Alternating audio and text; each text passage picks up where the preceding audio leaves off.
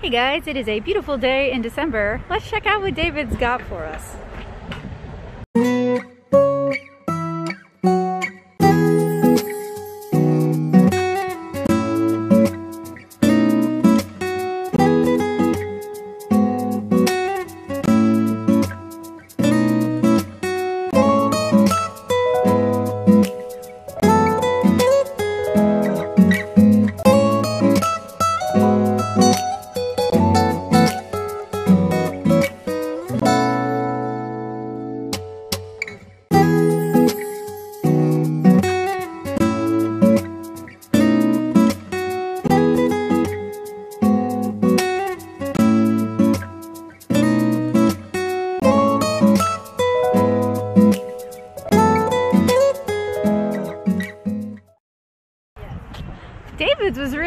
Hopping today. I've never seen them have so much business, which is really nice to see.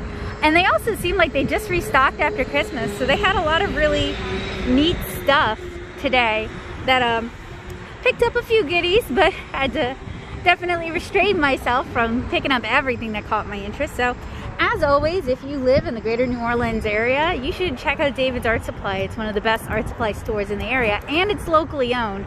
So no offense Michaels, no offense Walmart, all offense Hobby Lobby. You should be giving your business to David's instead. Okay, so I got back from David's just a little while ago and I wanted to show you guys what goodies I picked up while at David's Art Supply today. So I received a $40 David's gift card as part of my Christmas this year. I did not show that in the haul because I received it today, but $40 at David's can go a pretty long way. So not all of this was purchased with the gift card, but it definitely made a dent in the end transaction. So let's take a look at what's inside the yellow David's bag. All right, so in our distinctive yellow bag, we have something my mom picked out as something she'd like to do during one of our chill streams. So this is something to look forward to on a Monday afternoon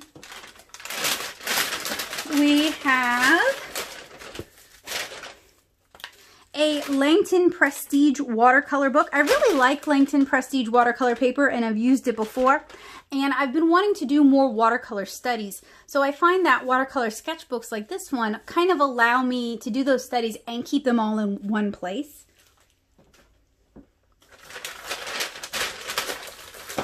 I also picked up some larger Hake brushes. I enjoy using these for like soft washes and they tend to be pretty affordable for larger natural fiber brushes. I picked up some miniature brushes for finer detail work.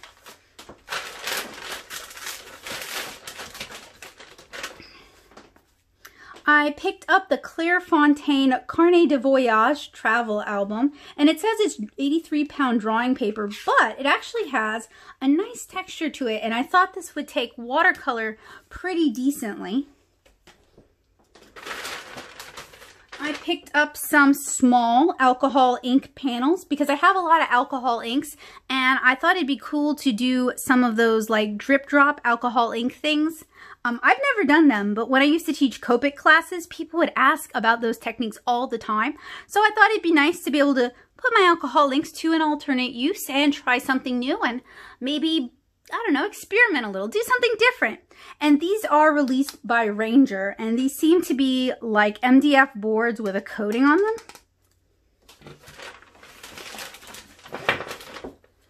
I also picked up some very bright pink alcohol inks. They did not have any co empty Copic sketches though. That's something I really enjoy doing is getting empty Copic sketch markers and then filling them with pretty alcohol ink colors from other brands. Some of my favorite colors that you guys see me use again and again are actually self-filled Copic sketch markers.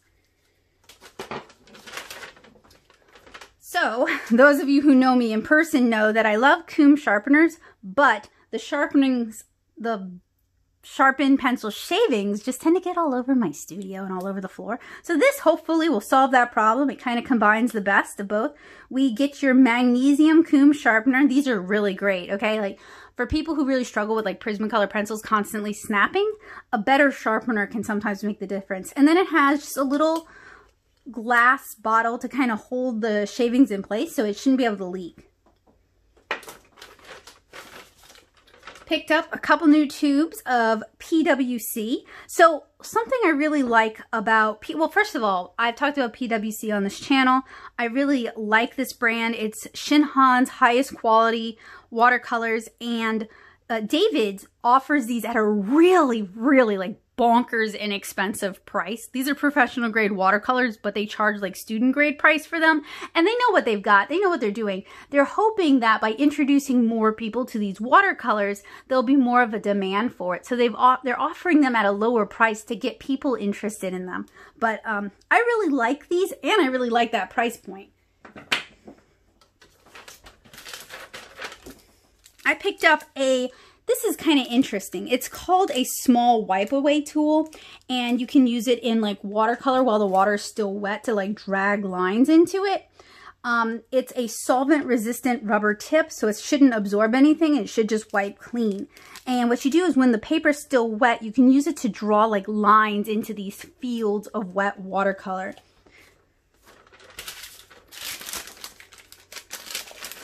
And then finally, I picked up a couple more silver black velvet brushes. If you guys watch my stuff, you'll know I really like these brushes. I got a flat. I'm going to have to condition this one because it's got a mind of its own. And what's neat about the flat is it has a tapered edge, which similar to the rubber tool here, this, if you mark on wet watercolor, will leave kind of like it's not like a perfectly white line, but it does create like a line in the watercolor. I also picked up um, a scripting brush. I think Mind of Watercolor talked about like riggers and scripting brushes as being some of his favorite brushes. So um, I haven't really played around with these too much. I only own one other one and it's a super cheap Princeton snap brush. But I really like the silver black velvet brushes. They're affordable. They're a mix of natural and synthetic fibers and they're kind of taking over my watercolor collection because I really like them so much. So I thought, you know, I'll try one of their scripting brushes and see if I like that as much as I like their other brushes. And then finally, I picked up a few more of the Caran d'Ache Museum Aquarelle watercolor pencils. You guys have heard me talk about these before as well. And what makes these, these are expensive, but what makes these cool is they're using professional grade watercolor pigments in the pencils. So they have the same kind of react. You get like full color reactivation when you put water on them. They're fairly buttery. You get really rich color and they granulate like watercolors. So to me, these are like the Cadillac of watercolor pencils. I've tried quite a few. These are really super nice. So I am slowly building up a collection of those.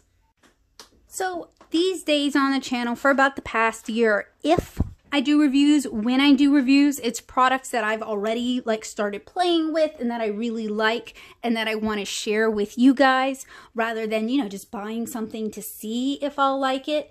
It tends to be a little bit more of a sure thing. I try to avoid uh, buying things that I think I'll hate because that's just a waste of money. And we're just putting negativity out into the world when we do that. I mean, the manga kit was obviously obviously not going to be something I was going to love, but I was kind of hopeful about the manga kit because some of the other Five Below kits I'd reviewed I really liked. They really surprised me. So I was kind of hopeful and a little disappointed by that one. But um, generally these days when I buy art supplies, they're things I'm already somewhat familiar with. Like I've been using Ranger Adirondack paints for a while. I use them in my Copic marker, well, in my empty Copic markers. Um, I like the price point. I like the colors. The colors are often a little bit different than what Copic offers. And I think it's neat to be able to kind of fill empty Copic markers with whatever colors I happen to like. I could use the Brea Reese. I could use alcohol inks used for resin. I could use Jacquard. I have used Jacquard alcohol inks in these. Um, it's not necessarily the most price economical because empty Copic sketch markers are almost as expensive as regular Copic sketch markers. Sometimes they're more because they're actually increasingly harder to find.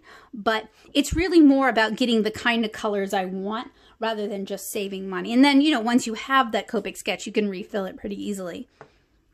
But hopefully these these sort of hauls um, they're not necessarily intended to be like, look at all the stuff I'm going to review, but I know people enjoy seeing what other people are buying at art supply stores, and these kind of videos tend to be my most popular videos, so I don't mind sharing them with you guys when I there's a place I want to support and I think it's really cool. And that would definitely be David's Art Supply. I've been going to David's since I was like 14. I'm 34 now. So I've given them a lot of business over the years.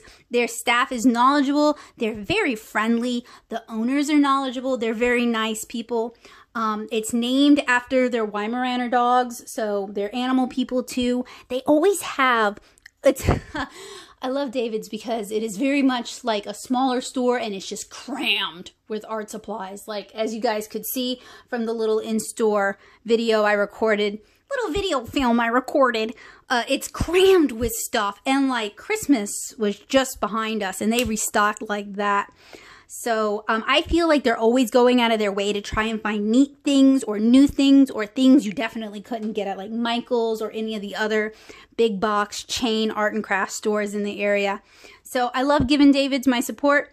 I love buying from them and I love telling you guys about David's because you know it's a surprising number of Louisianians don't know about that store and I think they would really enjoy shopping there and find stuff that they like so um, I, let's just call it um, returning the favor. I like the customer service of David's, so I'm returning the favor by pointing new customers in their direction.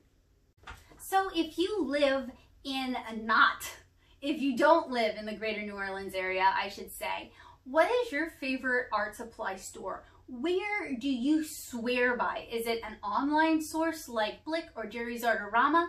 Is it someplace that you go in person? Is it a tiny mom and pop local joint? Or is it a giant nationwide chain? Let me know down in the description below. When it's not COVID, Joseph and I do travel for shows and every time I go to a new city, I love checking out the art supply stores there and I particularly love checking out locally owned art supply stores. So if you guys have a favorite art supply store, give them a shout out down in the comments below. Who knows, maybe I've been there too and we can we can bond over how amazing that shop is.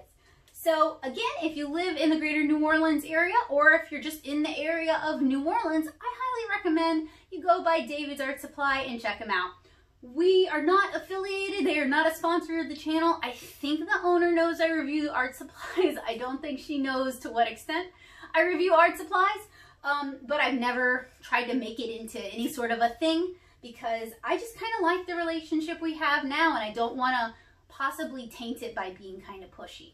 But uh, as you guys can see, every time I go to David's, I end up finding a lot of really cool stuff. And I think you guys will find a lot of cool stuff if you go there too. And if you're new to art supplies or if you're buying for someone you love and you don't know much about art supplies, their staff are really, really nice. They're very approachable. They're always eager to help.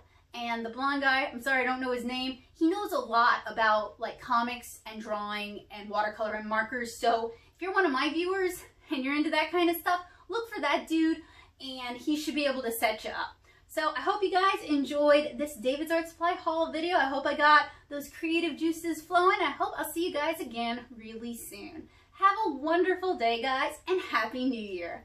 Bye!